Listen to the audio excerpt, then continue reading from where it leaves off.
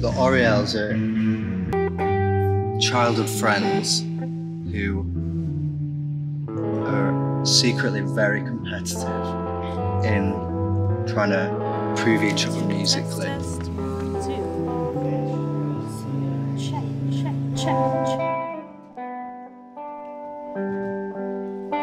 I think for us it was like the friendship was there before the music. Yeah. And that's something you do see less in music now. It's like a lot more people going out with the intention to start a band. And we kind of like found each other's friends and then realised like, oh, like we're kind of meant to like play music together. Yeah. Yeah. Just music fans, I guess, first and foremost. Yeah, yeah, like, definitely. Yeah, and art fans in general, film. Good. I feel like that one was a bit more like it's setting in now, like picturing people actually being in there. I was like, but yeah, excited for it. I'm so glad that's sorted now. It in here, so that was like the big one, really, when I was doing. So having vocals and guitar and everything else with like loads of clarity on it's main. I'm almost there. I'm just not getting vibes yet. Yeah, I suppose you're getting a lot of fun as well, aren't you? That's the thing. The vibes, I don't know, man. The vibes are off right now. It's Piccadilly Records.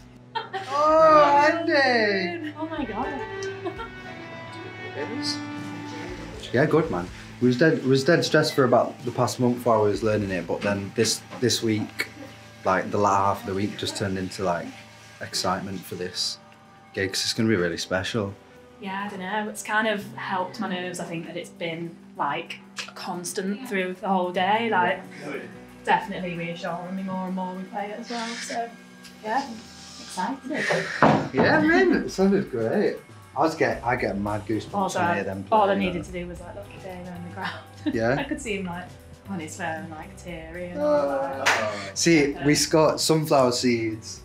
Is like super emotional tune for us. It's it's got a lot of nostalgia with our manager Damo, who like has heard it through the years, and it's always like a really pulls at his heartstrings quite a lot.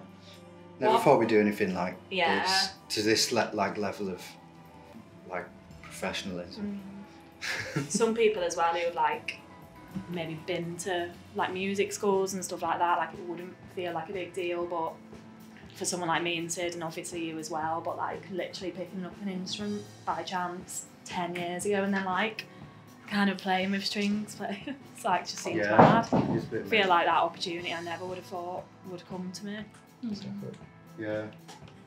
To come, because we used to do like, we had like hardly practice before we go on tour and stuff, and it was all like so punky and DIY. So it's nice to have that like both at s- mm. sides, like score and string set and play with an octet, and then also like turn up play with like shitty gear and.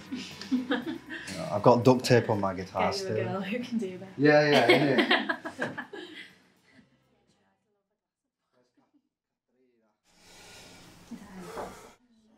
Good luck, everyone.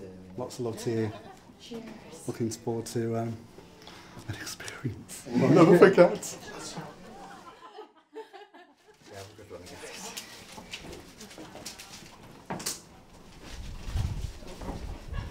Look at that. Didn't even get there. Start. No, they're about to go on. So, oh, he's not there yet. Can you go to house lights, please? Uh, no. Look like said wait. So Sid, you out first with us and then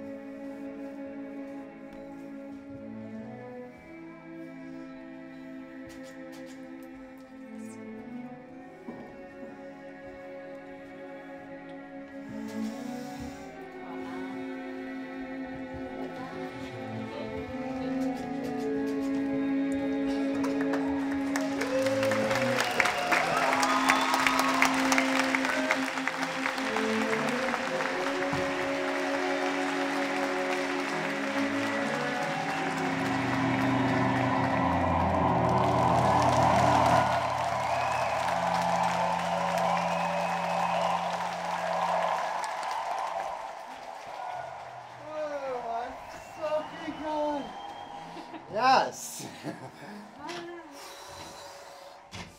Bloody hell. Yes. Yes. Well done. Is that it? Yeah, that's it. Well done. Oh my god, guys. Yes. Absolutely. Good house, like it. Yeah, all good. Did you see the stand innovation? Yeah, yeah. Really? Missed that. Everyone pure stuff. Is it? Yes.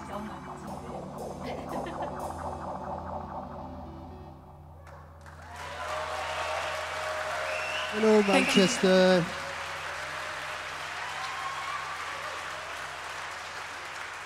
Thank you very, very much for joining us on the day of our album release.